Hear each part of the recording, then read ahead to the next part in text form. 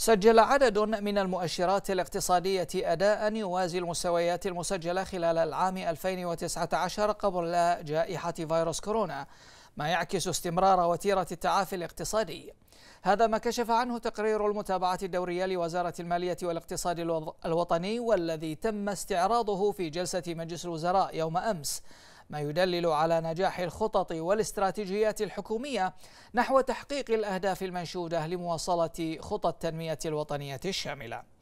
وللحديث أكثر حول هذا الموضوع معنا عبر الهاتف سعادة النائب أحمد السلوم عضو مجلس النواب عضو لجنة الشؤون المالية والاقتصادية بالمجلس. سعادة النائب بعد التحية لو تطلعنا على قراءتك حول أداء المؤشرات الاقتصادية التي تم الكشف عنها يوم أمس خلال جلسة مجلس الوزراء.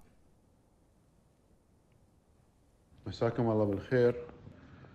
في البداية توجيهات سيدي صاحب الجلالة الملك حمد بن عيسى آل خليفة والدور اللي قام فيه سمو ولي العهد رئيس مجلس وزراء الأمير سلمان بن حمد آل خليفة في أول يوم من بدأت هذه الجائحة ووضع الخطط وضع الاستراتيجيات سواء كانت عن القطاع الصحي أو كان القطاع الاقتصادي أو القطاع التعليمي.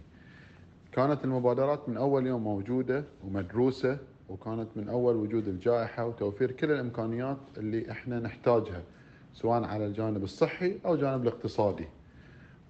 ابتداء من توفير الرعاية الصحية وتوفير التطعيمات اللازمة وتوفير الأمور الصحية اللي كنا نحتاجها والكوادر الطبية وأيضا من توفير الحزم المالية اللي كان لها الأثر الإيجابي في استمرار ونمو الكثير من الأعمال في ظل هذه ال 18 شهر الماضية اللي كنا نعاني فيها من الجائحة. فاليوم إحنا ما نستغرب عن هذه النتائج الطيبة والمؤشرات الإيجابية مقارنة ب 2019 بالعكس إحنا نقول إن إحنا البحرين نجحنا. ونجحنا في تخطي هذه الجائحة.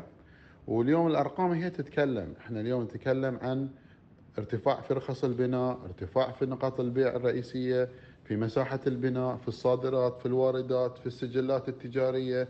نسبة الارتفاع تتراوح بين 15% إلى 151% وهذه نسب مقارنة بالدول العالمية تملك اقتصاديات كبرى إحنا متفوقين عليها فيها وهذا جاء على عمل جبار جاء بتكاتف جميع الجهود جاء بوعي المواطن البحريني وثقته في قيادته. هي اللي وصلتنا حق هذه النتائج اللي إحنا الحمد لله رب العالمين اليوم نعرضها ونفتخر فيها. إحنا متفائلين أيضا خير ومتفائلين بعد ما رجعنا في الضوء الأخضر وبعد ما تعافت ورجعت معظم المحلات التجارية والمجمعات التجارية وأيضا بدأوا السواح يتوافدون على البحرين وبدأت الحياة طبيعية. في ظل كل هذه الحمد لله لا زالت إن في سيطرة على عدد الحالات وعدد الإصابات وعدد الأمور كلها. فهذا يوحي إن الوعي وأخذ التطعيمات والثقة اللي الكل وثقها في قيادته اليوم وصلتنا حق هذه النتيجة. إحنا جدا فخورين بهذه الأرقام. ونطمح إن شاء الله في أرقام أكثر وأكثر جاية ونطمح إن إحنا نعوض ما سبق من ظل هذه الجائحة. وثقتنا كبيرة في الجميع.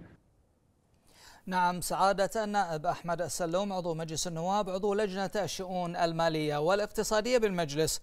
كنت معنا ضيفا كريما في نشرة الأخبار. شكرا جزيلا لك على هذه المداخلة.